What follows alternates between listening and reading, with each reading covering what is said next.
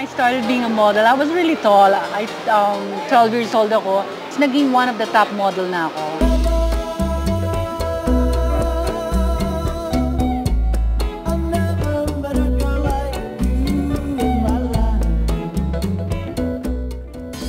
When it's about time for me to go to Japan, I finally realized, wait a minute, Melanie, you are carrying the country's name. Yeah. So be serious about it kasi ayoko naman mapahiya ang country natin. So I studied Japanese because I heard the Japanese people are very nationalistic. Yeah. It's, it's true.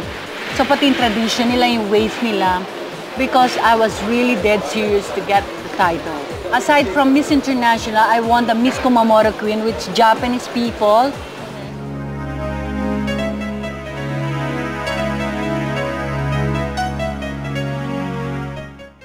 It would happen is because um, Oriental models, they can never get into New York, which is my biggest challenge in life. I said, I want the first Oriental to get in New York first before I go to Europe. Because once you made it in New York, you made it everywhere. I become the New York face of the 80s. And then the supermodel, they wanted me to represent USA. But I cannot because deep within my heart, I'm Filipina. I insisted to represent my country. Kaya rin nag-excel ako kasi in New York, when they asked me to go see six photographers, you will never believe that you will see different faces. That's why they call me the thousand faces.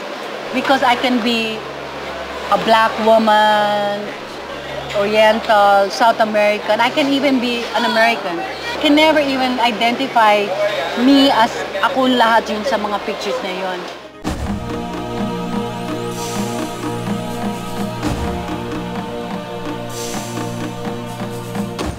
After making it in New York, I worked like a horse in Europe.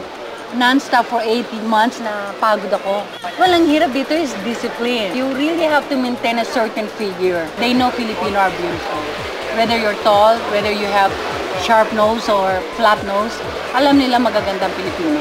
I enjoy every single minute of my life. You know, I'm being protected with my faith. There's a lot of things that can happen easily. But I pray a lot for guidance. There's a lot of temptation, but you just have to be aware. Kasi nakafocus ako to make it eh. Sa totoo lang, ang Filipino audience, ang pinakamahirap i-please. Talaga? And once you already got their heart na please mo sila, wala, ano lang lang yan, candy na lang sa abroad. I work with Valentino, with Armani, I work with all of those signature designers abroad which people look up to. But for me, I don't buy their stuff. I love wearing Filipino designs. I'm very proud of being, being Filipina. Inspiration to more is my mom and my, my son. Because I love them so much that I want to give the best to them.